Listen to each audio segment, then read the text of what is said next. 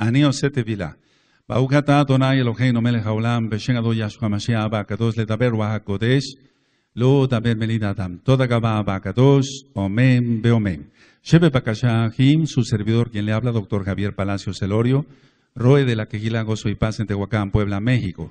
Le invitamos de parte de todos a visitar las páginas de internet www.gozoypaz.mx, www.sinjatura.org en español, yacoswell.net en inglés, el canal de YouTube Shalom 132 y ahora nuestra radio Sinjatora.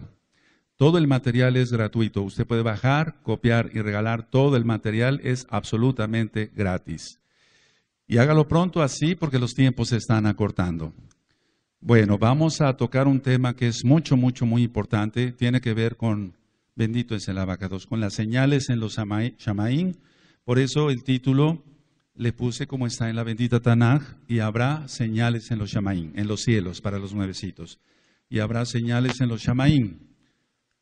Ahora, quiero comentar que todo este estudio está hecho con astronomía, no tiene nada que ver la astrología. La astrología es el estudio de los astros para la adivinación, el futuro, saber el futuro, etcétera, etcétera, etcétera. La astronomía es el estudio de los, el estudio de los astros y más basados a la bendita Torah para ver los tiempos, no tanto el futuro, sino los tiempos en los cuales estamos viviendo y en los cuales, eh, de los cuales ya se van a desencadenar varias cosas. Ahora, quiero comentar que esto de el título de y habrá señales en los Shamaín es porque nos estamos aproximando al, desencadenamiento de todo. Miren, quiero comentar algo importante antes de. Existe tradición judía verdadera y eso ya lo hemos demostrado aquí en esta quejila con un audio que le titulé así, tradición eh, judía verdadera. Ahora, los sabios de Israel dicen que en la época de Noaj, de Noé, para los nuevecitos, hasta los animales eran malvados y que por eso el Eterno tuvo que exterminar también los animales. Si tú recuerdas en Bereshit, ya lo estudiamos, están las parashot así por separadito y aparte están los cinco libros de Moshe. El Eterno dijo que iba a raer a todo ser viviente. Entonces, no solamente al hombre pecador, a la mujer pecadora, sino también a los animales. Ahora, ¿Qué hay de cierto lo que dice la tradición judía? Porque yo dije que era verdadera. ¿Es verdad? Sí, yo digo que sí. Bueno, ¿cómo o en qué me baso para afirmar esto? ¿Qué es lo que está pasando ahora? Por ejemplo, uno de tantos ejemplos que estamos viendo en estos días es focas violando pingüinos. Tal cual lo oíste, focas violando pingüinos. Entonces, el tamaño de una foca bastante grande, o sea, eh, eh, en este caso el, el, que es el macho, violando pingüinos. Pero también encontramos casos, hay registrados casos de focas violando pingüinos y después de violarlos, escuchen bien, matarlos y después comérselos. Entonces, la tradición judía, en este caso verdadera, lógico, pues lógico, yo digo que sí es verdadera en este caso porque estamos viendo esa, situación y los, y los científicos, yo no soy experto en eso. Yahshua Hamashiach dijo, como en los días de Noah. es decir, que como en los días de Noah será la venida del Hijo del Hombre. Entonces, no solamente la maldad, amados Sajín, amados Sahayod, qué bueno que están conectados, no solamente la maldad la tiene el hombre en su corazón, en su pensamiento, sino los animales ya están contaminados por esa maldad. ¿Y cómo se pueden contaminar los animales? Y ya expliqué que ellos no tienen un alma como, como nosotros. Pero es tanta la carga, por así decirlo, perdóneme la expresión, demoníaca que hay a nivel mundial, que hasta los animales están cayendo a una posesión total. Ahora, esto que les acabo yo de platicar, amado Sahim, Ahayot, es una señal indudable de que Yahshua Hamashiach viene pronto. Los científicos expertos en todas estas cosas, los zoólogos en estas cosas que acabo yo de platicar de la violación de pingüinos a través por medio de focas, o sea, eh, están desconcertados los científicos, no saben qué está pasando, pero nosotros como creyentes sí sabemos lo que está pasando. Hay un audio que titulé como en los días de Noah. Por favor, escúchenlo. Ahí voy explicando que este mundo está totalmente loco, está totalmente demente, siguiendo las doctrinas satánicas y no la doctrina de la Torah de Yahweh. Entonces, los científicos están desconcertados, pero nosotros no. Ahora, pongan mucha atención. No solamente se salvaron, amados Agin, si tú recuerdas, ocho en el arca, ocho seres humanos, sino se salvó la pareja de animalitos que Yahweh escogió. Porque si tú recuerdas, ya lo explicamos en la parasha, Noé, Noah, no tuvo que ir, por así decirlo, a, a, buscar a los animales, sino que ellos llegaron al arca. ¿Es así? Entonces, no cabe duda que fue un mensaje divino, para que se entienda para los nuevecitos, desde los Shamaín, que la pareja de animalitos que el Eterno escogió es la pareja de animalitos que no estaba contaminada por demonios. Esto es algo mucho, mucho, muy importante eh, porque con todo lo que vamos a ver el día de hoy, vamos a quedar sorprendidos de que nos queda nada más, más que un respiro. Es un decir. Ahora, yo platicaba en los días anteriores, en los Shabbatot anteriores con varios ajín de varios ministerios, que no se trata de comamos y bebamos que mañana moriremos, no, porque nosotros no vamos a morir. Viviremos por la eternidad con Yahshua. Ahora, Ciertamente se trata de abrir los ojos y ver los tiempos que estamos viviendo. En este caso, eh, de lo que nos concierne el día de hoy, quiero que hablan, por favor, eh, eh, su Tanaj, eso sí les voy a suplicar. El sal, vamos hacia el Salmo 147, vamos para allá, amados Sahim.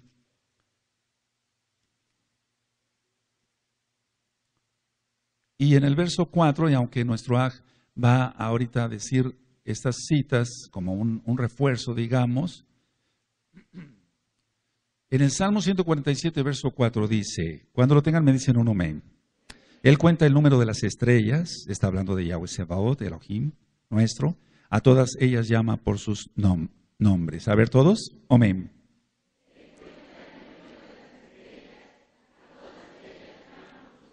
Entonces, como número uno, él conoce las estrellas, lógico, él es el creador, por Mesubedito Bajacodis. Él las llama por su nombre. Ahora, nosotros todavía estamos, por así decirlo, muy en pañales para entender más cosas de la bendita Torah, todo lo que está decodificado en la Tanaj, en la palabra del Eterno, porque toda la escritura es inspirada por el Bajacodis. Pero sí ya llegamos a un punto de convencimiento que el Eterno dejó escrito en los Shamaín la historia de la redención, la historia de la humanidad. No es astrología, recuerden, hay una diferencia muy grande entre astrología y astronomía. Entonces, todo está escrito en los cielos. Hace tiempo yo les venía platicando que íbamos a dar un tema de estos y bueno, llegó el día. Ahora, en Apocalipsis 12, vamos para allá para que Ahorita ya entremos de lleno a las diapositivas. Vamos a Apocalipsis 12, amados Sajín, porque hay muchas dudas. Estuvimos recibiendo varias llamadas, entonces no pretendemos dar una cátedra de astronomía ni de Torano. Nosotros no somos nada. El único grande es Yahweh. Uno. Dos. No somos los únicos ni los mejores. También hay otros amados Sajín en el mundo que temen a Yahweh creen que Yahshua es el Mashiach, que es Elohim, que es uno con Elohim, y también están estudiando y están teniendo ellos muchas revelaciones. En Apocalipsis 12 dice, apareció en los Shamaín en los cielos una gran señal, una gran, gran, grande. Una mujer vestida del sol con la luna debajo de sus pies y sobre su cabeza una corona de doce estrellas. En un momentito más vamos a entender esto. El verso 2, y estando encinta, es decir, embarazada, clamaba con dolores de parto en la angustia del alumbramiento. También apareció otra señal en el cielo, otra, es otra señal en el cielo, no es la misma señal. He aquí un gran dragón escarlata que tenía siete cabezas y diez cuernos y en sus cabezas siete diademas. Estos, estos tres pasuquines, estos tres versos son claves. Ahora, vamos nosotros a abrir la Tanakh en Yohanan, amados aquí, Yohanan, en el capítulo 1 y en el verso 14.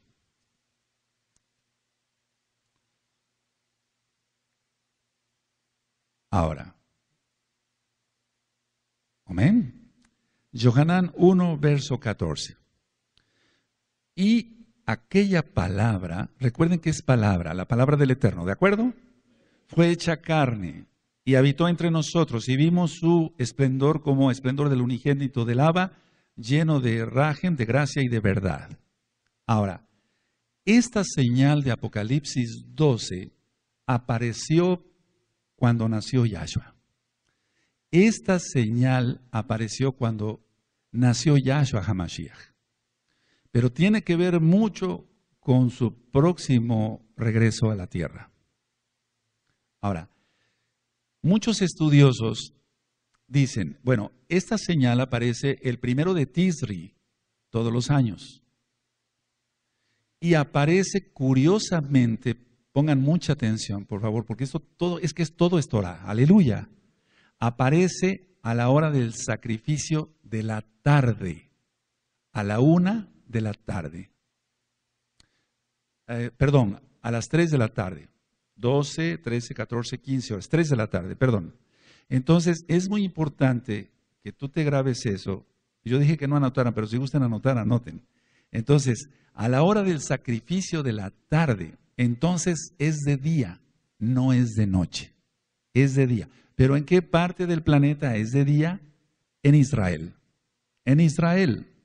Es decir, que el primero de Tisri, que concuerda lógico con una fiesta de John Teruah y con un Rosh Hodesh, aparece esta señal, pero no aparece en la noche en Israel, aparece en el día, a la hora del sacrificio de la tarde, a las 15 horas. Esta señal va a volver a aparecer, y ahorita es donde vamos a entrar un poquito eh, a aclarar ciertas cosas. Esta señal va a aparecer otra vez esta señal. Pero ahora vamos a ver que se van a conjuntar varias cosas. Ya tenemos las lunas rojas. Antes no teníamos eso. Ahorita nuestro AC nos va a hablar sobre eso. Quiero llevarlos, por favor, a Mateo 24. Entonces alguien diría, bueno, vamos a ver la señal de noche. No, de noche nadie va a ver esa señal. Y menos en Israel, porque va a ser de día, no va a ser de noche. ¿Sí queda claro ese concepto? Vamos, ¿quién va a ver algo, de, eh, alguna constelación, etcétera, de día? No se ve nada. Mateo 24, verso 29 30 y 30. E inmediatamente después de la tribulación de aquellos días, el sol se oscurecerá, la luna no dará su resplandor, y las estrellas caerán de los Shamaín, y las potencias de los Shamaín serán conmovidas. Entonces aparecerá, aparecerá perdón, la señal del Hijo del Hombre en los Shamaín, entonces lamentarán todas las tribus de la tierra y verán al Hijo del Hombre viniendo sobre las nubes del cielo, del cielo, perdón, con gran poder y esplendor. Ahora, dice que aparece la imagen de la mujer, vamos para allá otra vez, Apocalipsis 12, y quiero hacer una aclaración muy pertinente. Nosotros no vamos a poner fecha cuándo va a venir Yahshua HaMashiach porque no sabemos cuándo va a venir Yahshua HaMashiach.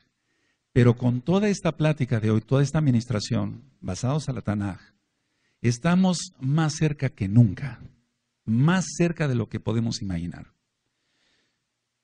Dice entonces, apareció en el cielo, si lo tienen, una gran señal, una mujer vestida del sol con la luna debajo de sus pies y sobre su cabeza una corona de doce estrellas. Pueden, si gustan, entonces ya vi que varios abrieron sus libretas, doce tribus de Israel, 12 Shaliahim. Y ahorita vamos a ver cuáles son esas 12 estrellas mirando al cielo. Ahora, Yahshua HaMashiach dijo que vendrá como ladrón en la noche. Él dijo que vendrá como ladrón, pero no para los escogidos, dijo Shaul, inspirado por el Bajakodis. Entonces vendrá como ladrón, pero no para los escogidos. Ahora, una nota muy importante, amados preciosos. Pongan mucha atención, amados ahí. El libro de Apocalipsis, si tú lo revisas, está en la página gozoypaz.mx desde hace creo que dos, tres, cuatro años. Yo lo explicaba en aquel entonces y lo sigo afirmando, no es cronológico. Es decir, no lleva un orden tal cual porque están entrelazados los sellos, los shofarot y las copas, que las copas realmente son en la parte final, en la ira. Sin embargo, el gran terremoto de uno de los primeros sellos es hasta el final.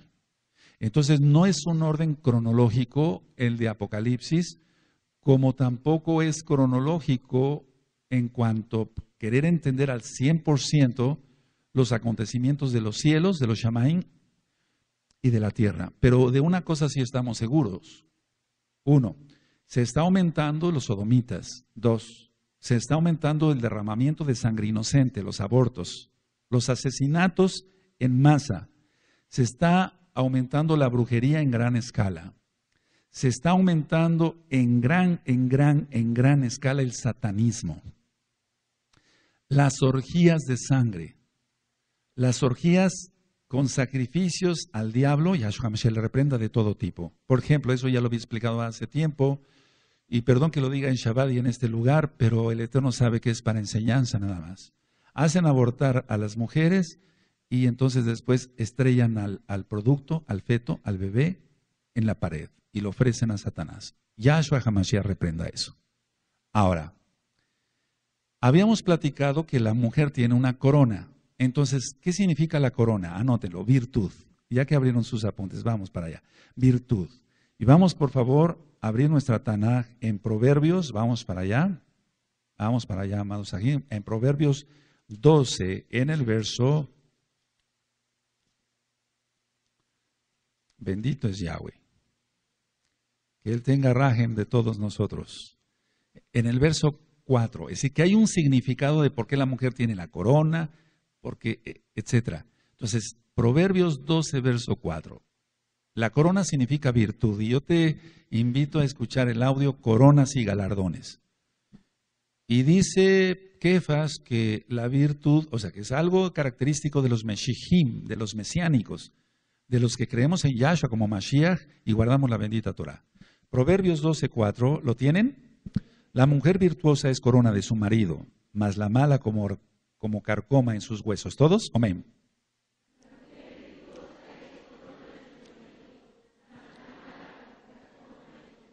Entonces, lo que está hablando aquí es que si la mujer eh, virtuosa es corona de su marido, la quejila mundial, no gozo y paz, me refiero a la, la comunidad de creyentes en el Mesías de Israel, Yahshua es su nombre, tenemos que tener virtud y eso es la santidad. Ahora vamos por favor al Salmo 89, vamos para allá, amados Sahim, vamos al Salmo 89. Y vamos a ir hacia el verso 39.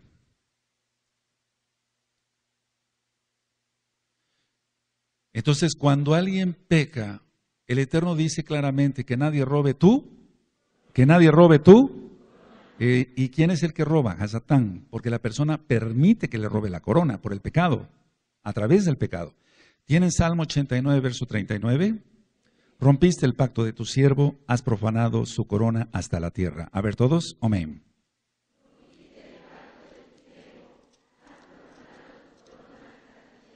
Ahora, esa es la corona. Ahora, la mujer, la mujer, anoten, la mujer es Israel. No tiene nada que ver con inventos de religiones paganas, nada de eso. La mujer es Israel. Siempre se referirá, se referirá la Tanakh a Israel. Vamos para Isaías en el capítulo 49, amados, y en el verso 18. Aleluya. Y miren qué hermoso cómo habla el profeta, pero inspirado por el Wahakodis. ¿Tienen Yesayahu, Yesayahu 49, 18? Quiero oírlos más activos, que lean más, como si estuvieras vivo. Aleluya, aquí y allá. Yo voy a leer primero. Alza tus ojos alrededor y mira, todos estos se han reunido, han venido a ti. Vivo yo, dice Yahweh, que de todos como de vestidura de honra serás vestida y de ellos serás ceñida como novia. ¿Todos? Amén.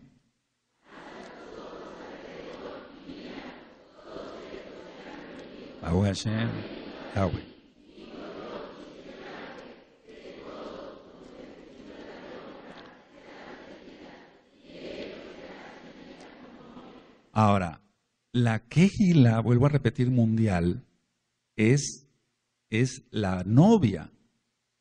Y la novia es Israel. Y la mujer es Israel. Ahora vamos a Efesios 5, vamos para allá rapidito. Efesios 5, en el verso 25. Vamos para allá rapidito, con ánimo, con fuerza. Aleluya. Es que quiero explicarles otras cosas muy importantes también. Amén. Efesios 5:25. Maridos, amad a vuestras mujeres, así como Mashiach Yahshua amó a la Kegilá y se entregó a sí mismo por ella. Y después eh, sigue diciendo que la apartó, la bendijo, etcétera, etcétera, etcétera. Ahora, eso es en cuanto a la corona y la mujer. El sol, el sol. Dice que la mujer está vestida del sol y el sol de justicia es el Melech Sadik, Yahshua HaMashiach. Es la justicia del Mesías. En la Tanaj es la justicia del Mesías a lo que se refiere la bendita Tanaj. ¿De acuerdo? Vamos a Malají. Ya, está ministrado desde hace tiempo a Malaquías 4 en el verso 2. Vamos para allá. Entonces vamos a la mujer con su corona, vestida de sol. Ahorita vamos a ir hacia la luna que está a los pies. ¿Sí? ¿Cuántos hay acá? Eso. Malaquías 4.2, Malaquí 4.2. Mas a vosotros, los que teméis mi nombre, nacerá el sol de justicia, el Melech y en sus alas, su talit, traerá salvación y saldréis y saltaréis como becerros de la manada. ¿Todos? Amén.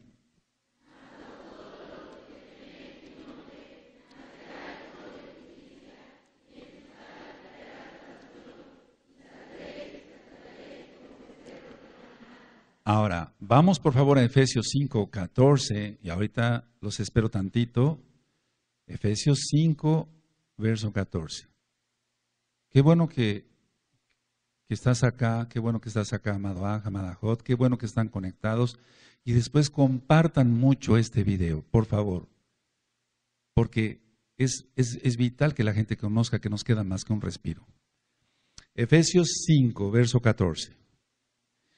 Por lo cual dice, despiértate, tú que duermes, y levántate de los muertos, y te alumbrará Yahshua HaMashiach, porque Él es el sol de justicia y Él alumbra. ¿De acuerdo? A ver, todos el 14, amén.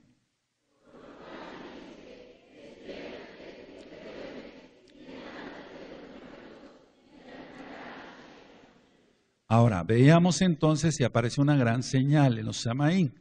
La mujer, Israel, la corona, la virtud, el sol, está vestida de sol. Es, que Yahshua es el que nos viste. Sí, es el que nos viste por medio de su bendita Torah, por medio de los mitbot, las mitbot. Ahora, la luna, la luna. Vamos al Salmo 104, amados. Vamos al Salmo 104. Estas citas ya te las sabes. Por eso quiero darme un poquito de prisa para poderte explicar algo donde parece ser que hubiera un desfasamiento en los tiempos. Salmo 104, verso 19. Perdón que los lleve tan rapidito, pero quisiéramos estar aquí toda la noche. Aleluya. Hizo la luna para los tiempos, el sol conoce su ocaso. ¿Todos? Amén.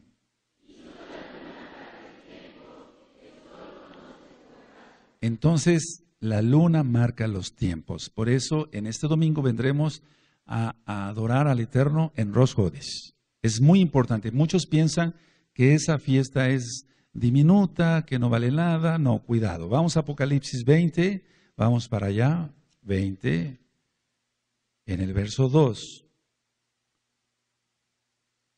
20, verso 2. Y prendió al dragón la serpiente antigua, que es el diablo y Satanás, y lo ató por mil años. Entonces, después voy a mencionar ya sobre el milenio, quiero entrar a ese tema ya entonces quedará atado el diablo mil años y todo tiene que ver con las constelaciones. Todo está escrito en las constelaciones. Vamos a Daniel, por favor, al profeta Daniel, y ese, e, ese libro del profeta Daniel ya está también en la página de internet, tanto en audio como en video. A Daniel 8, verso 10.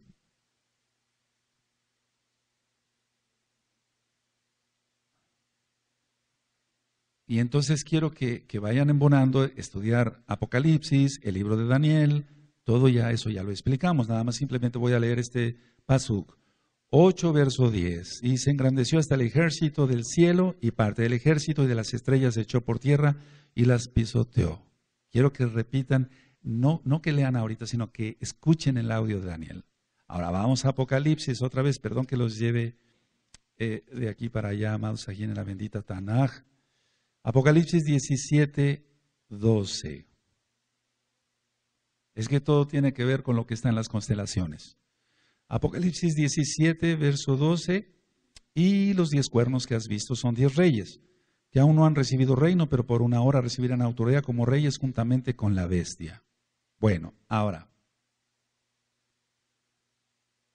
así como decía yo que, que se suceden entrelazados los sellos, las trompetas, o más conocido como, lo correcto es shofarot, pero lo dije así para los nuevecitos, y las copas, así Apocalipsis, Isgalot, 12, capítulo 12, capítulo 13 y capítulo 14, no son al 100% cronológicos. Es decir, que no son al 100% cronológicos el capítulo 12, el capítulo 13 y el capítulo 14.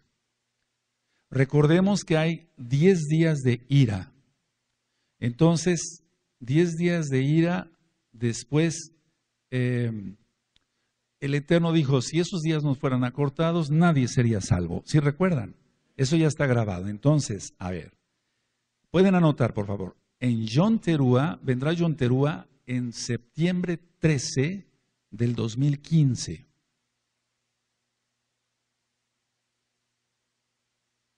Y nuestra fecha de, estudio del día de hoy, clave, es octubre 2 del 2016. Tres. Vamos, porque es de un día hacia otro. ¿Sí? ¿De acuerdo? Aleluya. En septiembre 20 será Yonterúa en 2017. Pero ¿por qué les dije lo del 2015 es que ahí no se reúnen las características que vamos a ver en las diapositivas de todo bien eh, eh, acomodado, como dice la Tanaj. Pero en el 2016 embona perfectamente todo y ya no embona en 2017. Entonces nos queda un respiro. Ahora, en el nacimiento de Yahshua HaMashiach, Roma intentó matar al Mesías. Ahora, entonces, es muy importante esto. En el nacimiento, a ver, repito, cuando nació Yahshua HaMashiach, Roma intentó matarlo, ¿o no? ¿Sí o no? Vamos a Apocalipsis 12. Aleluya.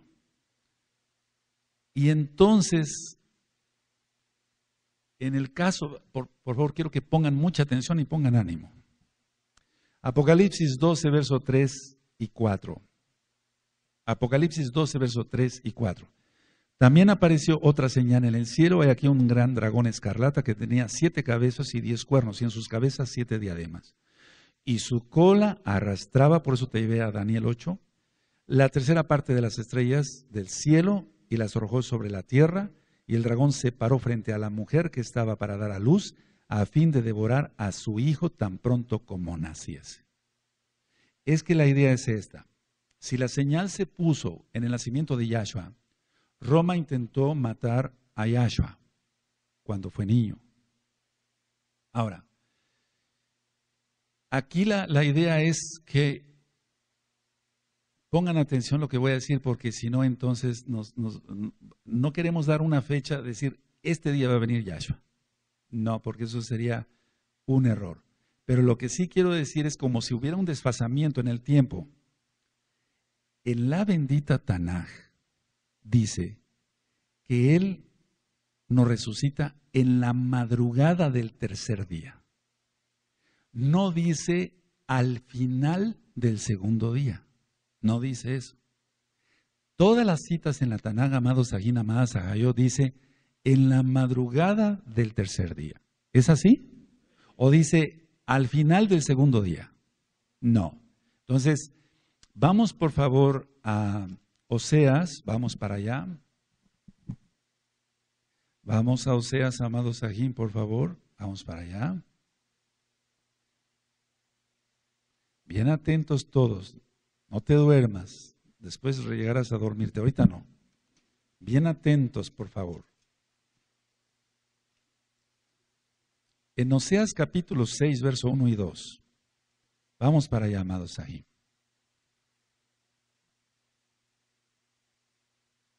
Aleluya. Oseas 6, verso 1 y 2. Venid y volvamos a Yahweh, porque Él arrebató y nos curará, hirió y nos vendará. Nos dará vida después de dos días, después de dos días. Y en el tercer día nos resucitará y viviremos delante de Él. Todos el verso 2 nada más. Amén.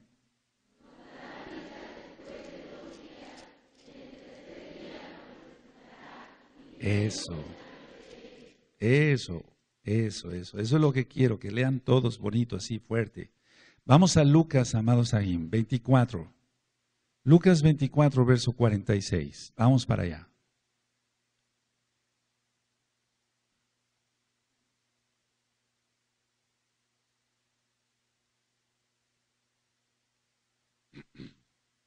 Sí tiene Lucas 24, verso 46, y les dijo, así está escrito, y así fue necesario que el Mashiach padeciese y resucitase perdón, de los muertos al tercer día. A ver todos, amén.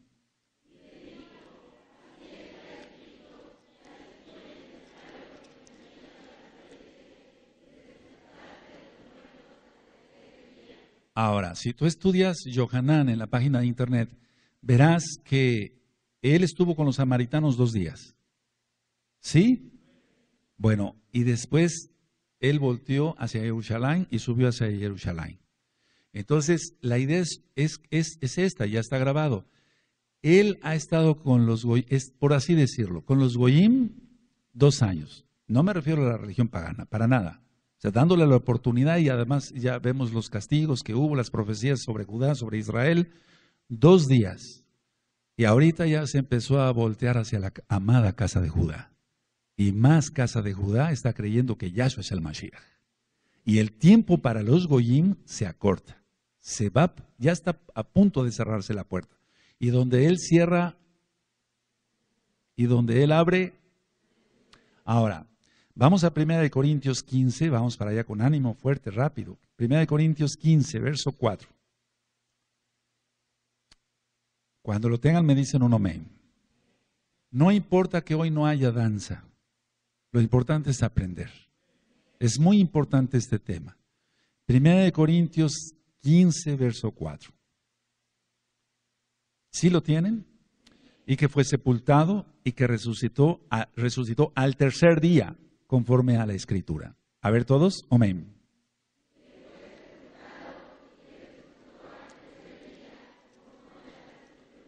Ahora, sabemos que mil años es un día. Vamos a segunda de Kefas, y eso está en los Salmos. Segunda de Kefas 3, segunda de Kefas 3, verso 8. Vamos para allá, amados Sajín, con gozo. 3, 8. No hay tiempo para pecar, nunca ha habido tiempo, pero ahora menos, es un decir, o sea, total santidad. No desviarse ni un milímetro hacia el pecado, derecha o izquierda, nada, derecho el camino, aleluya. Tienen segunda de Kefas 8. Mas, oh amados, no ignoráis esto, que, es, que para el Adón un día es como mil años y mil años como un día. ¿Todos? Amén.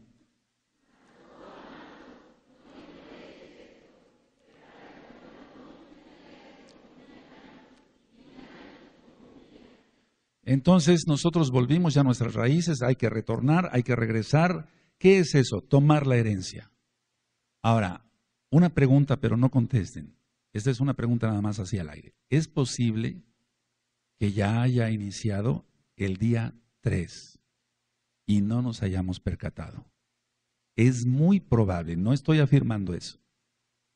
Ahora, lo que sí sabemos es que prácticamente el tiempo ya se acabó. Por lo tanto, hacerte teshuva. Tú que no has vuelto a tus raíces, vuelve a tus raíces. Tú que no te has arrepentido, arrepiéntete rápido. Deja el pecado y, guarda la santidad en Yahshua HaMashiach, su bendita Torah.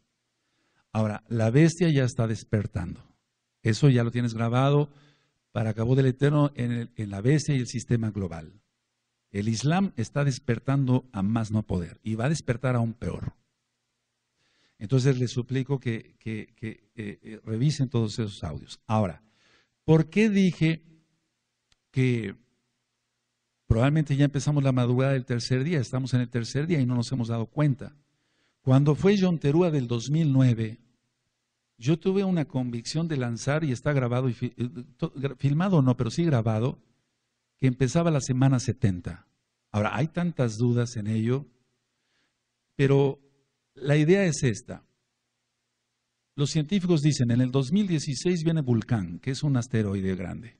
Bueno, ya hemos oído muchas veces eh, historias de, de asteroides, pero quiero que sepan esto, por favor, y hago un paréntesis grandotote. Hay mucha confusión, por ejemplo, en Daniel 9:27, cuando se dice que puso fin a, a, los sacrificios y a las ofrendas, muchos están confundiendo que ahí, ahí específicamente está hablando de Yahshua, pero no.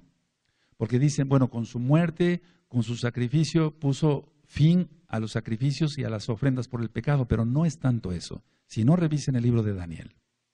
Ahora, lo que sí sabemos es que estamos desfasados, es a lo que quería llegar, por eso quise apurarme, perdóneme que los haya llevado rapidito.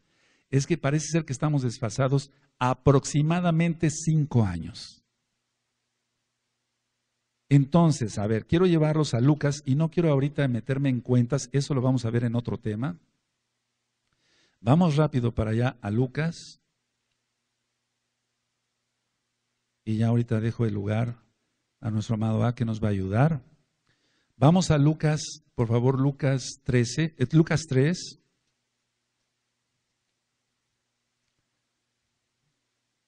Cuando tengan Lucas 3, verso 1 al 3.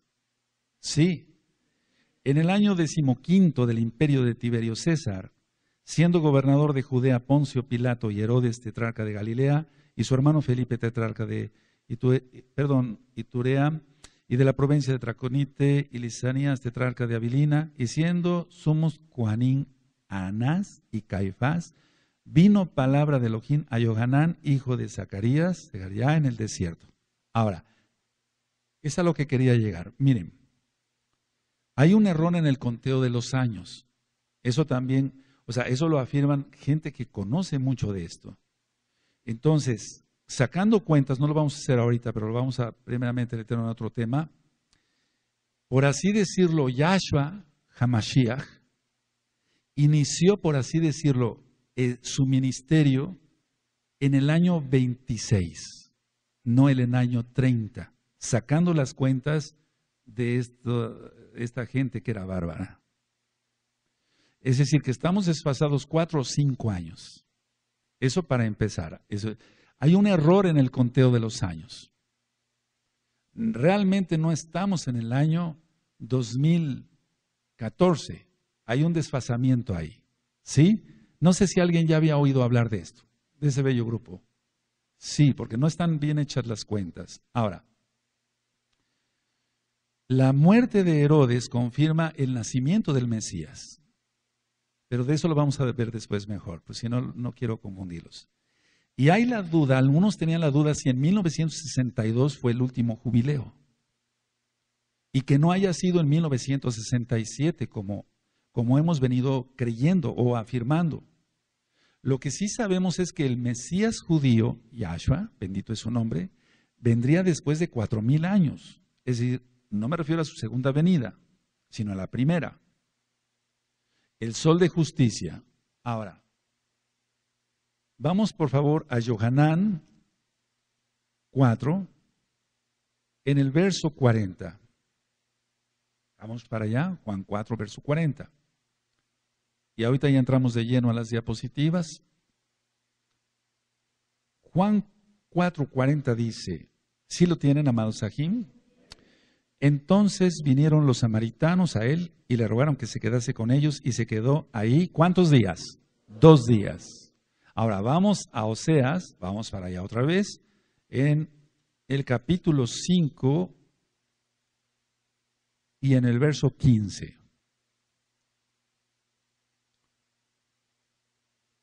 Y termino, voy a terminar nada más con un concepto antes de ver las diapositivas. ¿Tienen Oseas 5, verso 15? Andaré y volveré a mi lugar hasta que reconozcan su pecado y busquen mi rostro, en su angustia me buscarán. Es decir, el profeta está hablando prácticamente que Yahshua HaMashiach vendrá cuando esté la angustia de Jacob. ¿Sí, ¿Sí? ¿Queda claro? A ver, todo es el 15, amén.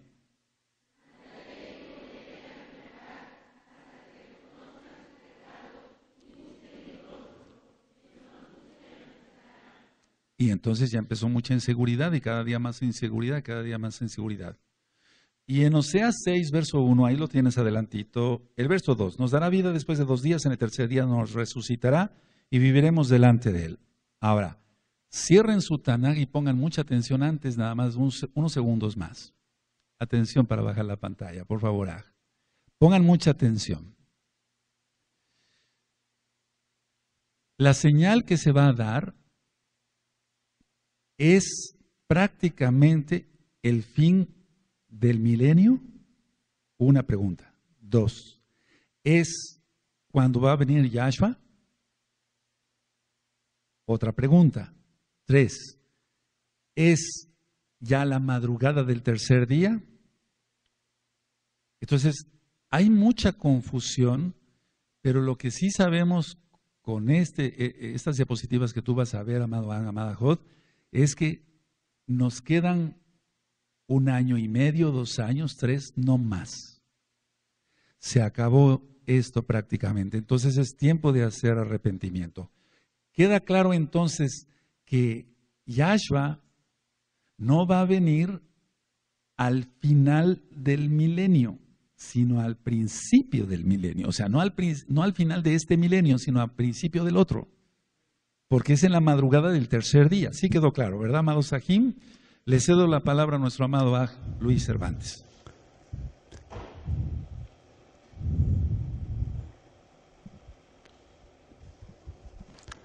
Shalom Bajá, amado Sahim, Ajayot. El tema que vamos a, compartir con ustedes el día de hoy, como ya mencionó nuestro amado Roe, es acerca de las señales en los cielos. Vamos a comenzar eh, mediante cinco puntos definiendo o entendiendo por qué cada señal está escrita y bajo qué manera.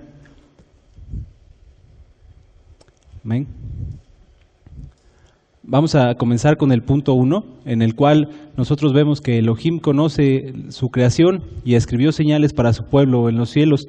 Como podemos ver en Bereshit 1, Pasuk 14, nos habla de que estas señales, eh, las lumbreras que, había puesto Elohim en los Shamaim, en los cielos, iban a servir de señales. En las traducciones normalmente viene como para las estaciones. Sin embargo, en el original hebreo podemos ver que se refiere a las Moadim, como la, la Moad que vamos a celebrar el día de mañana, que es Rosh Hodesh. Nos marcan las señales de acuerdo a su posición en algunos cuerpos celestes, cuándo va a ser una fiesta, cuándo es un, un nuevo año, un nuevo Shana, o cuándo inicia o termina un nuevo día. Así también, como nos mencionó nuestro amado Roe, eh, Yahweh, Él tiene conocimiento por qué está cada estrella en su lugar. Es decir, no están puestas aleatoriamente, no tienen un sentido, eh, digamos, tienen un sentido específico el, lugar que ocupan. Como vemos en el Tejilá 147, Yahweh conoce cada una de las estrellas y a todas llama por sus nombres. También así los profetas tenían visión, o sea, permanecían atentos a las señales en los cielos, como en el caso del profeta Isaías, que nos invita en, el capítulo 40, pasuk 26, que levantemos nuestros ojos y miremos el esplendor de Yahweh en los Shamaim. Él saca y cuenta a su ejército de ello. El punto número dos, vamos a, recopilar un poco de la información que, nos, que nosotros encontramos en la bendita Tanaj. Eh, en el caso de, Job, él nos, cuando habla con Yahweh, él nos muestra que él conocía, o Yahweh le, hace ver que él conocía al menos dónde estaban ubicados los cuerpos celestes, como el caso de las Pléyades, o una constelación, que son de las que vamos a hablar más adelante, como es el caso de Orión. En el punto número 3 vemos que Yahweh envía señales desde los Shamaim. en el caso de, de Bereshit, cuando Jacob soñó a pesar de que esta visión fue en un sueño, nos habla de que hay una comunicación entre los Shamaim, entre los cielos y la tierra, porque en, esta, en este pasuk, en estos versículos, vemos que Jacob sueña que Malahim subían y bajaban de los cielos, y enseguida de esto es cuando Yahweh le hace la promesa de Eres Israel. O sea, es una señal, es, es una comunicación abierta en la cual conforme uno empieza a profundizar en el estudio de la Torah, podemos ser cada vez más receptivos. Eh, en el caso de, jueces 5.20, nosotros vemos que también las estrellas o, los cielos en particular, porque los cielos son los que actúan a nuestro favor, como cuando pelearon contra, los, contra Císara, eh, Yahweh hace que, que las estrellas actúen a favor del pueblo de Israel. El punto número cuatro es que los cielos son testigos y profetas para el pueblo de Israel, para todos los Bene Israel. Como vemos en Devarim 30:19, Yahweh nos deja muy claro y lo menciona en varias veces en la Tanaj que los cielos y la tierra serán profetas contra nosotros o a favor de nosotros, de acuerdo a nuestra vida y cómo la llevemos en esta tierra. Asimismo, también no solamente son testigos, sino profetan. Como vemos en, este estudio y vamos a ir avanzando, las, señales en los cielos nos van indicando en qué momento profético, en qué momento estamos viviendo. Sin embargo, debemos de dejar muy claro en este punto que son señales de Elohim. En este punto debemos entender que las señales vienen de, Yahweh, del Todopoderoso, y no son señales que deban ser idolatradas como muchos paganos o cabalistas que centran su atención creyendo que son los planetas o las estrellas quienes definen su vida y no Yahweh.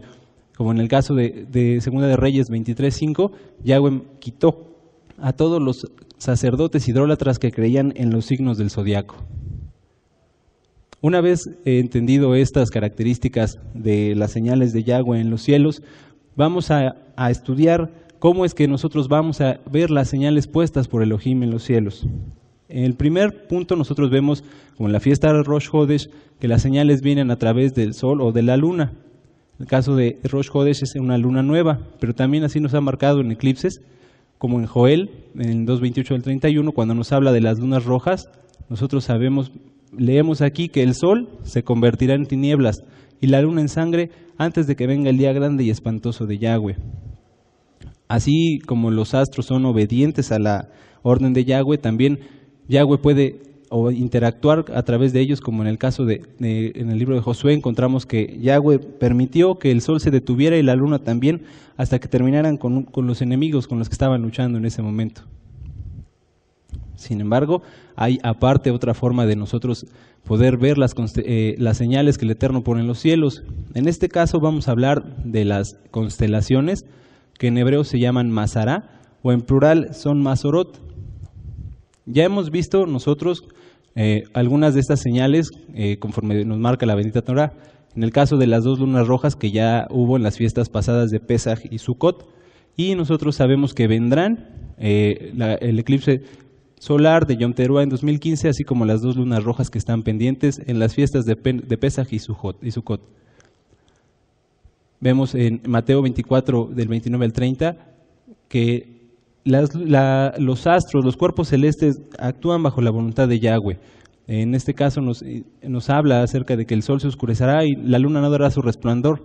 Las estrellas caerán del cielo y las potencias de los cielos serán conmovidas cuando venga el día espantoso de Yahweh vamos a, ver en este apartado cómo vamos a saber qué constelaciones vemos nosotros en los cielos.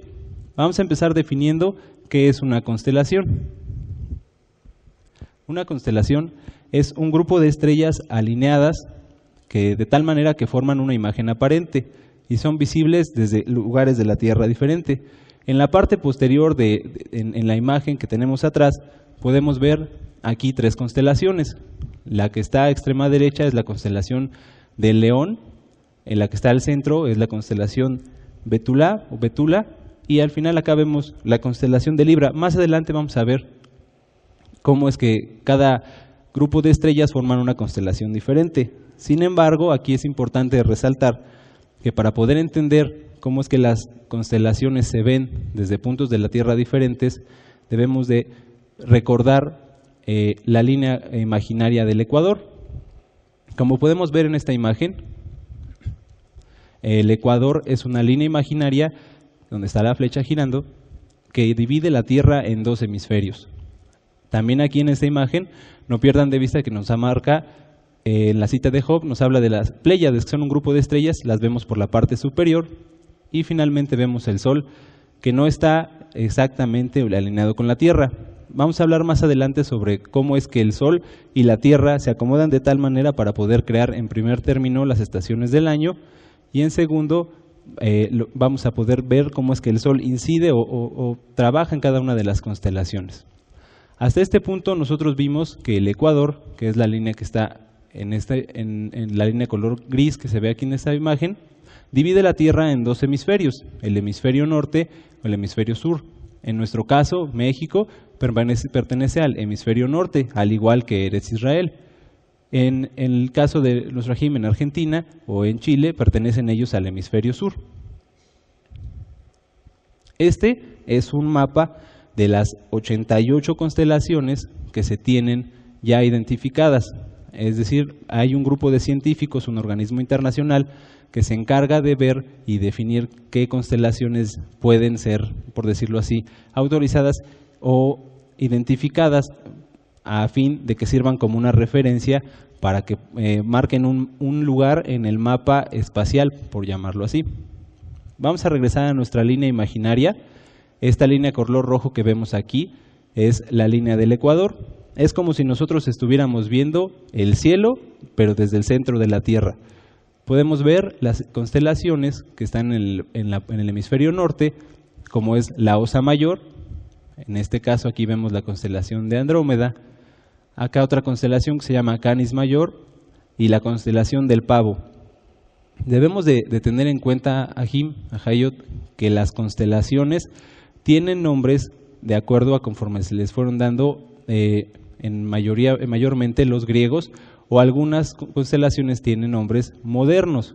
Por ejemplo, hay una constelación que se llama máquina de aire, o hay otras constelaciones como las del pavo, que son representativas de animales, pero que no están escritas en la historia, no fueron identificadas previamente por, por alguna civilización antigua. En nuestro caso, el pueblo hebreo, los Bene Israel, identificaban a la perfección estas doce constelaciones que vemos en la, en la zona amarilla, que son las constelaciones llamadas zodiacales. Vamos a, a ver aquí el, lo que se conoce como eclíptica.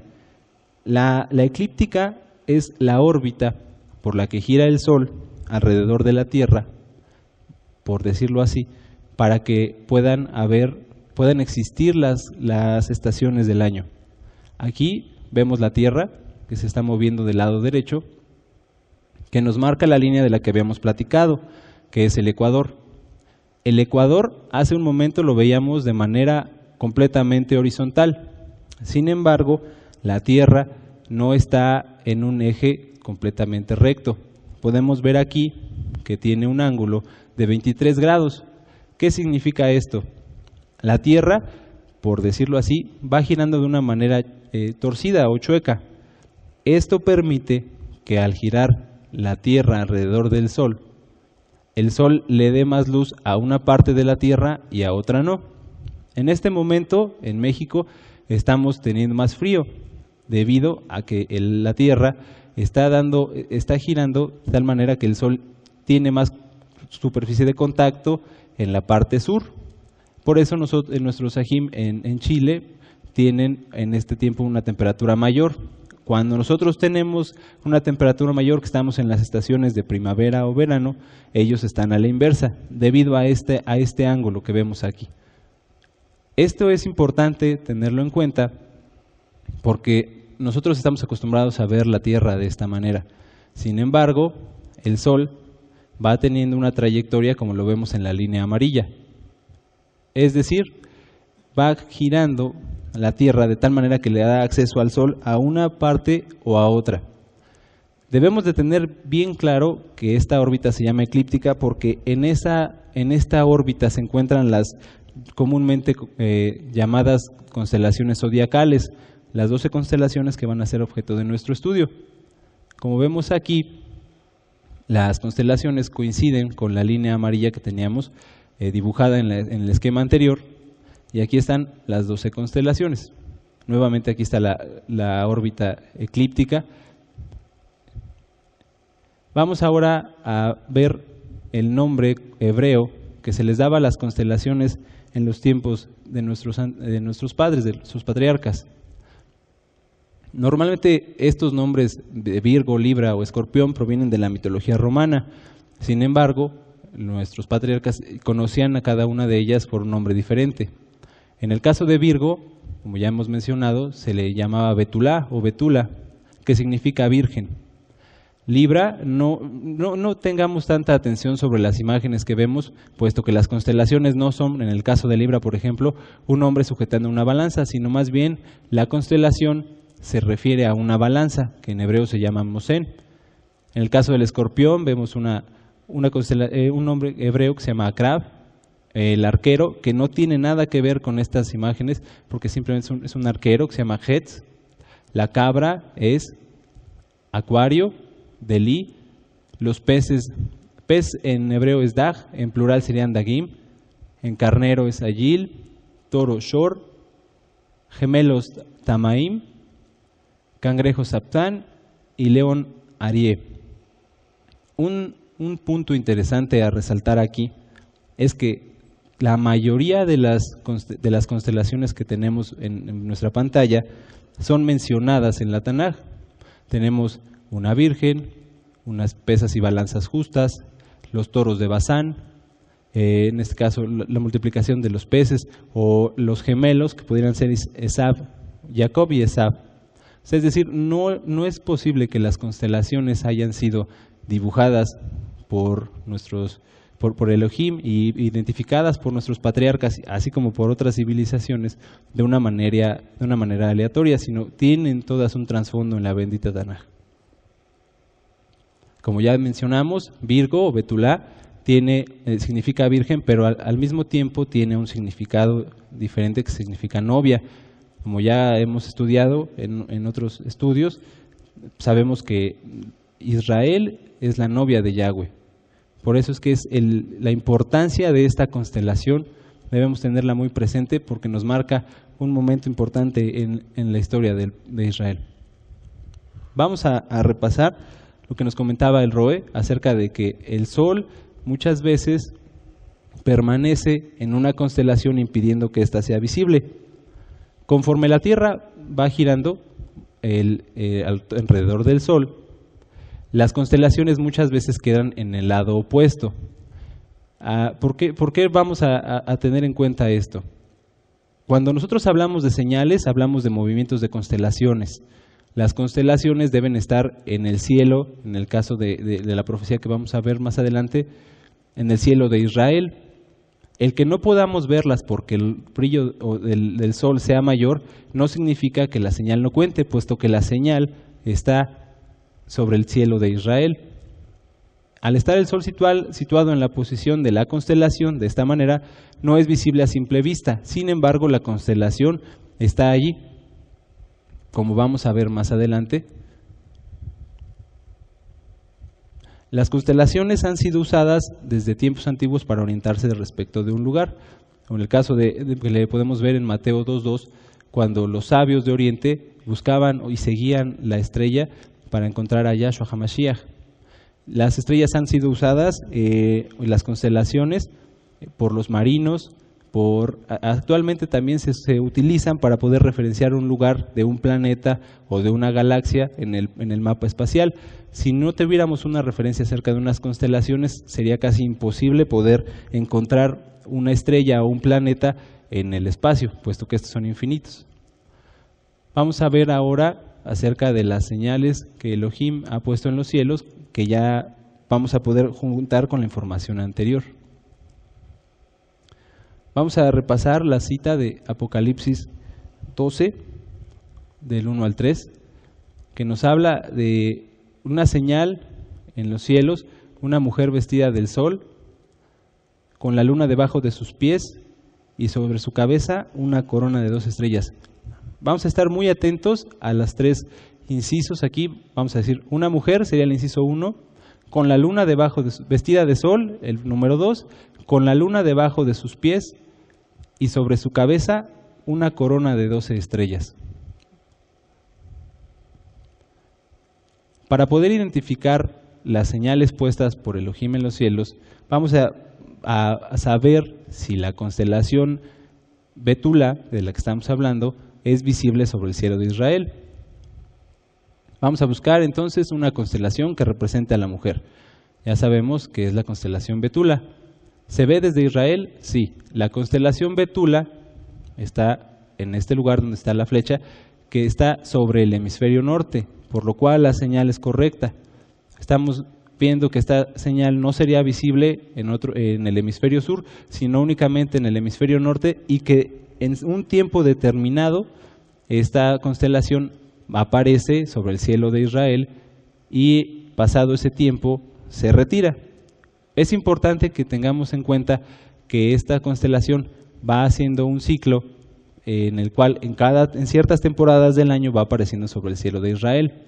Sin embargo, para fines de la señal, tiene que conjuntarse tanto con el sol como con la luna.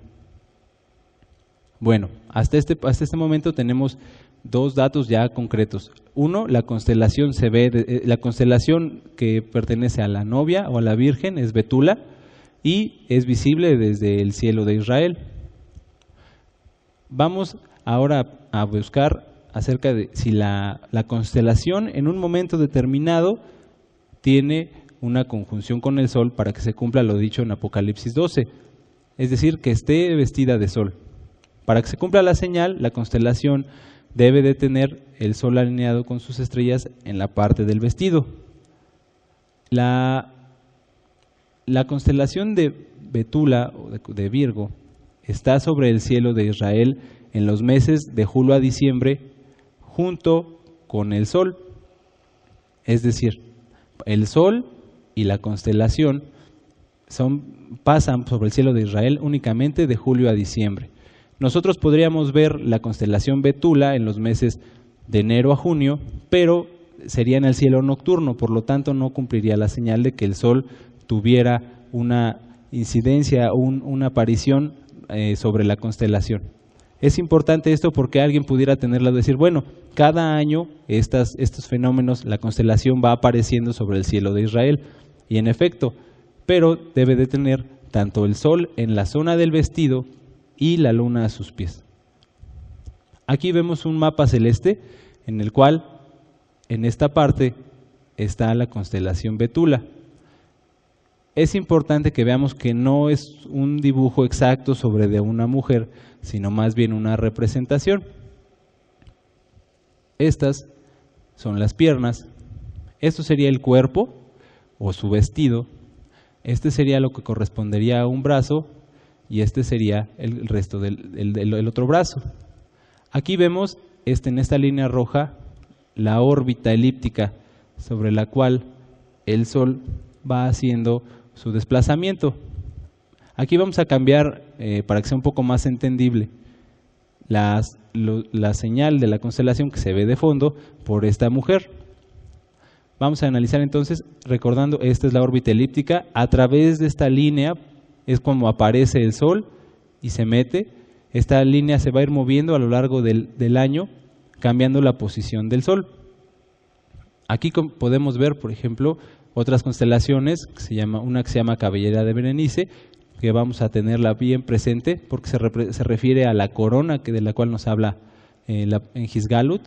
Por acá vemos la constelación de la serpiente, por acá vemos, como les decía hace un momento, la constelación de Libra. No es un hombre con una balanza como en la representación que vimos antes, sino más bien es una balanza únicamente. Por acá vemos, esta es una de las constelaciones que mencionábamos antes, es una constelación por llamarlo así nueva, no pertenece a las, a las constelaciones identificadas en los tiempos de nuestros patriarcas, que se llama sextante. El sextante es un aparato que se utiliza para poder ubicarse respecto del Sol. Por acá vemos la otra constelación de cáncer y más acá se ve la constelación de los gemelos, de los, de los Tamaim, o conocida como Géminis. Aquí vemos que exactamente en la fecha que vamos a que mencionó el Roy en el mes de octubre de 2016, el Sol está incidiendo no vean tanto el dibujo porque está desfasado. Si pueden ver aquí hay una separación. Pero si vemos la constelación, está exactamente en la parte del cuerpo.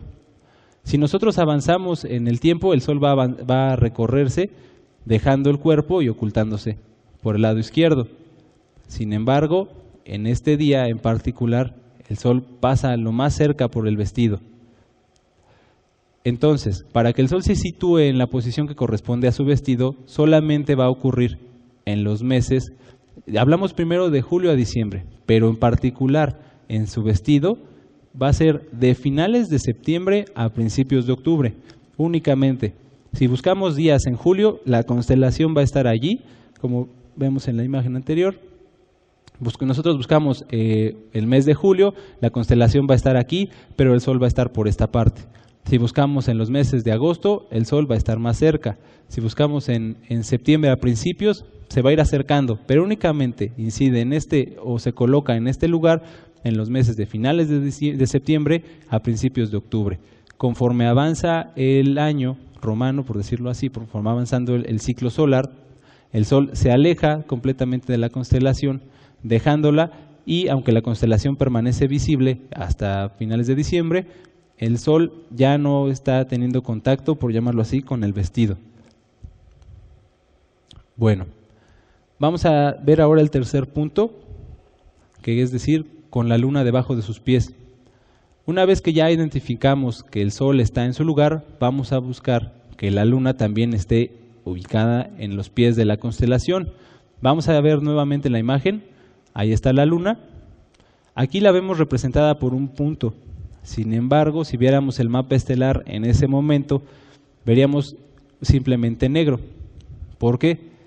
Porque recordemos que en la señal que estamos estudiando debe ocurrir en un Rosh Hodesh, es decir, cuando la luna está apenas visible. Eh, nosotros usamos un, un, programa para lograr este, estas imágenes en los cuales nos indica que del 2 de octubre o el 3 tenemos una visibilidad del 2.5 al 5%, es decir, la luna apenas está mostrando. Hay que bien, eh, estar bien pendientes de este punto porque nuevamente como el sol va a estar en el vestido, la señal de la luna en Rosh Hodesh no será visible sino hasta la noche, cuando esta, esta constelación y el sol se hayan retirado.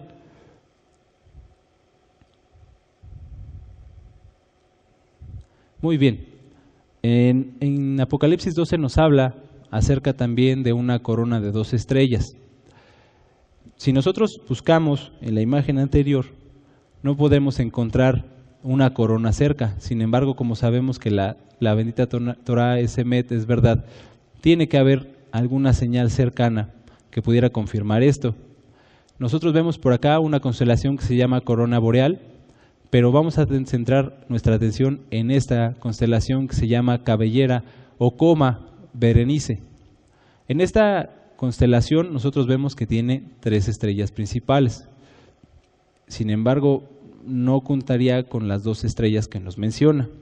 Si nosotros investigamos un poco más acerca de esta constelación, coma Bernice o cabellera de Bernice, vemos que aunque tiene tres estrellas, en el interior de la constelación se han contado nueve galaxias con lo tal nos daría un total de 12 estrellas y está justamente junto a su cabeza.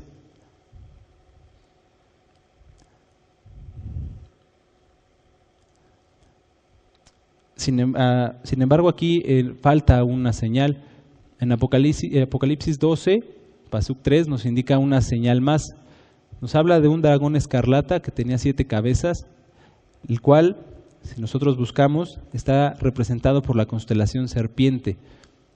Es curioso que esta constelación se llama así, no tiene otro nombre como las que ya vimos. Esta constelación siempre se ha llamado serpiente y aunque la Tanaj nos habla de un dragón, la constelación serpiente es la que cumple mejor con la ubicación que estamos analizando en este momento y que cuenta, nos habla en la Tanaj de siete cabezas. La constelación de serpiente tiene siete estrellas que la, principales que la conforman. Aquí vemos tres, cuatro, cinco, seis y la séptima. Son siete estrellas principales.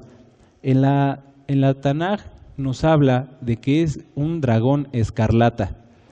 Recopilando y revisando la información, nosotros vemos que estas siete estrellas son de color rojizo, son de color, por decirlo así, casi anaranjado, respecto de otra, de otra estrella que nosotros vemos normalmente en color azul. Aquí vemos con las flechas tres señales que ya identificamos. La primera, la constelación Virgo, Betulá, en el cielo de Israel, con el sol en su vestido, con la luna a sus pies y a los pies de la, de la Virgen, la serpiente lista para devorar.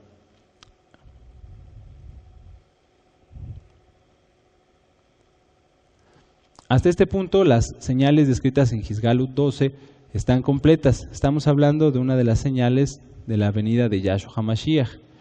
Pero ¿cuándo va a suceder este evento en particular? Nosotros sabemos que debe cumplir con los requisitos en cuanto a calendario de ser en un Rosh Hodesh y debe de ser primero de Tishri. Sabemos que debe ser entonces un Yom Teruah y si nosotros buscamos en un calendario eh, romano los días, como ya dijimos, que cumplan, que sean de finales de septiembre a principios de octubre, que sean que en esos meses o en esos días caiga primero de Tishri, que en esos días, en esos meses, esté la constelación Betula, que esté el sol en su posición, que esté la luna en su posición. Vemos que la fecha más cercana es el 3 de octubre de 2016 nosotros buscamos para confirmar este, esta información un tiempo atrás sobre qué otras, por si pudiera ser un ciclo, es decir, que esta señal se repitiera un cierto, un determinado número de años. Sin embargo, no encontramos una relación que nos dijera, bueno, el fenómeno eh, o la señal de que la constelación esté en su lugar junto con, la, con el Sol, junto con la Luna, pasa cada cinco años. No encontramos una información así. Lo que nosotros vimos es que desde 1902 ocurrió este fenómeno, esta señal, por decir, por es que es el nombre correcto, luego ocurrió hasta 1940, luego volvió a ocurrir hasta 1967 y ahora está por ocurrir el 3 de octubre del 2016. Aquí está. Esto, esto lo puede confirmar eh, cualquier este, que cualquier persona que le, interese y que sepa Torah, porque de lo contrario, pues la señal estaría ahí, pero no entenderíamos el trasfondo.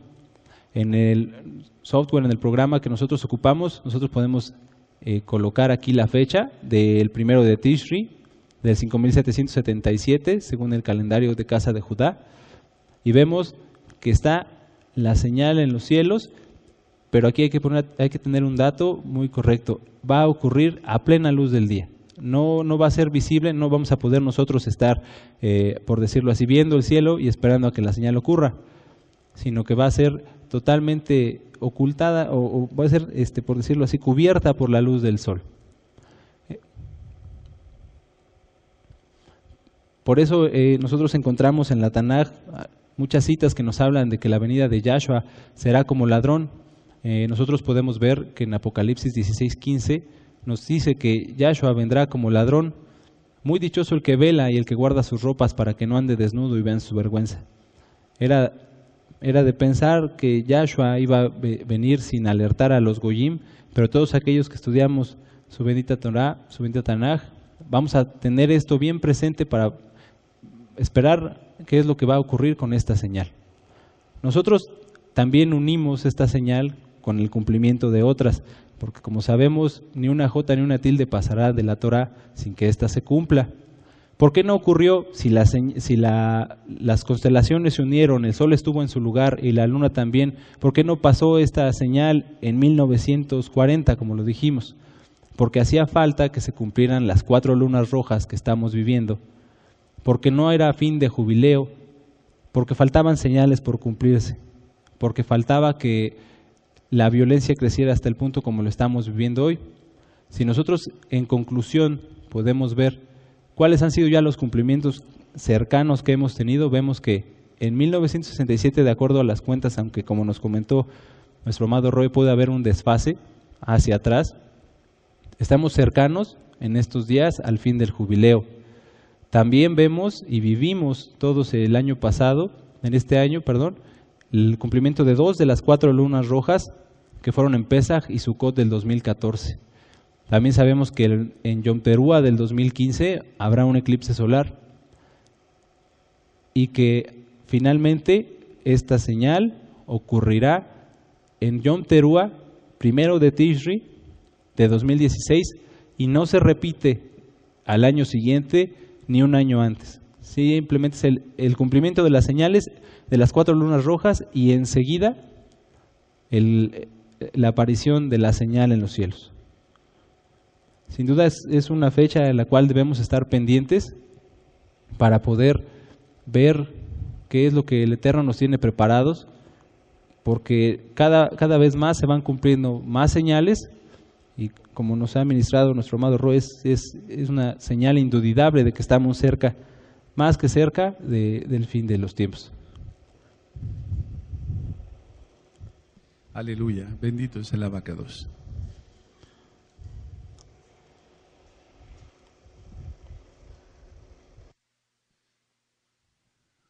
Bueno, en, en, otro, en otra ocasión, eh, platicando con el Luis, él me mostraba eh, cómo, por ejemplo, si se, nada más con que se mueva un día, nada más con que se mueva un día, ya no, ya no está la luna, o mediodía, ya no estaría, o un día, pues, ya no estaría la luna eh, a los pies de la, de la Virgen.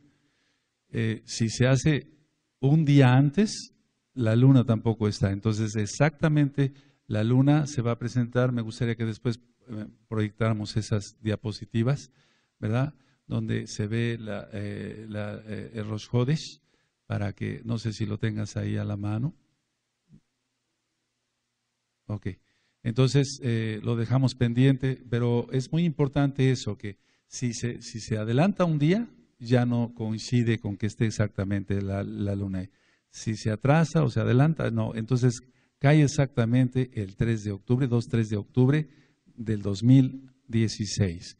Ahora, la conclusión es esta, no estamos diciendo que ese día va a venir Yahshua, pero no sabemos. Él vendrá como ladrón en la noche ahora, pero no para los escogidos. Nosotros estamos orando, estamos velando, estamos guardándonos en Kedusha.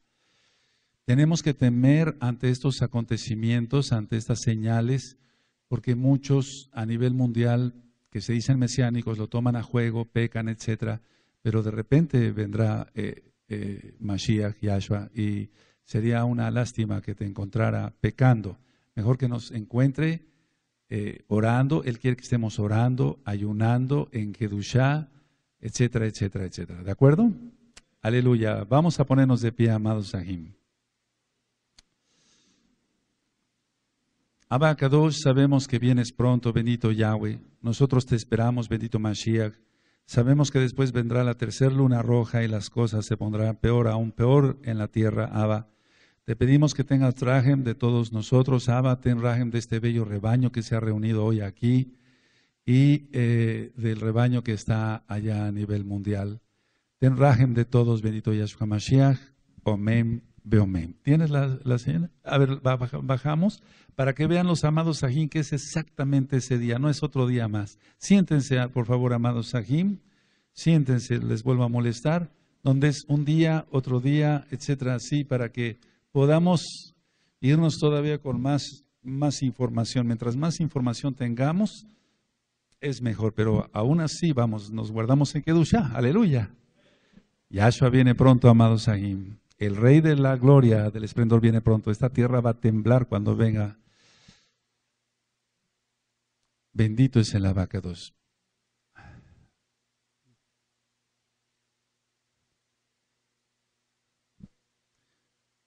Entonces, todos amados aquí, hagamos conciencia de eso, sigamos orando, sigamos ayunando, sigamos velando. Guardémonos, es fácil guardarse en Kedusha. es fácil guardarse en Kedusha. Aparentemente el pecado es fácil, pero las consecuencias son catastróficas. Muy catastróficas. No, no, no pequemos, guardémonos en Kedusha. Aleluya. El, eh, mañana venir a Shabbat con gozo y el domingo nos reunimos porque así cae, no porque adoremos en domingo. Es Rosh y vendremos a adorar al Rey en su fiesta. Que el Eterno nos tenga que decir, eh, eh, harto estoy de sus lunas nuevas, Cansado estoy de soportarlas.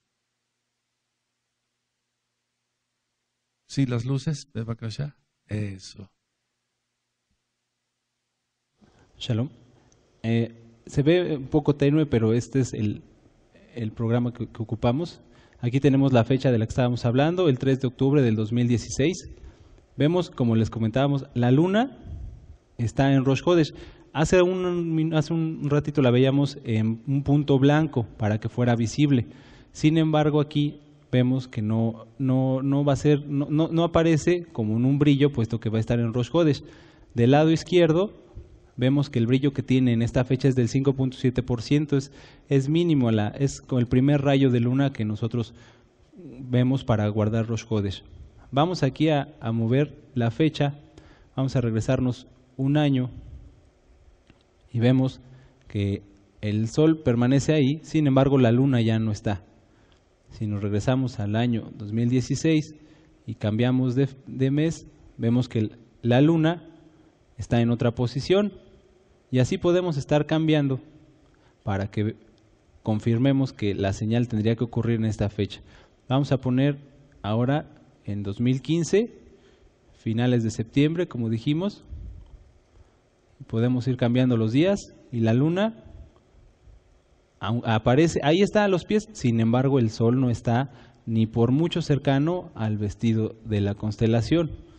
Es de lo que hablábamos, aunque las constelaciones van pasando eh, anualmente en un tiempo determinado ah, sobre los, sobre en este caso Israel, del lado izquierdo vemos que estamos situados en Jerusalén, eh, no cumple con la señal eh, como nos marca en, en 12.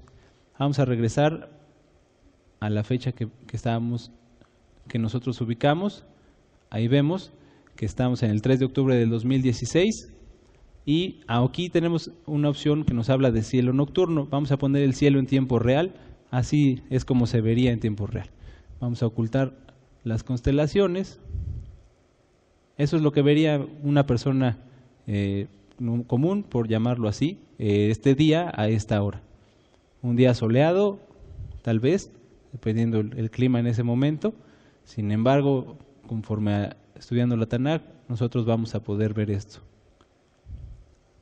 Aleluya. Quiero que, eh, se quede claro que la luna está ahí, pero no se ve, porque es Rosjodes. No sé si.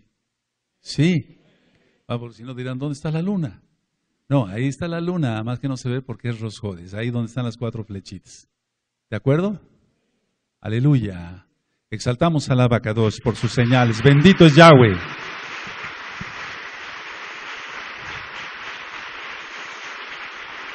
Todo está listo. Todo está listo en los Shamaim. ¿Estamos listos? Ya las señales están listas. ¿Nosotros estamos listos? Vamos a ponernos de pie. Abacados, en el nombre de nuestro don Yahshua HaMashiach, Abba, sabemos que tú has puesto todo desde antes de la fundación del mundo, Abba. Abba, sabemos que estas señales están listas. Nosotros queremos estar listos también para estar contigo por la eternidad. Toda Gabaya Hamashiach, Omen, Amén.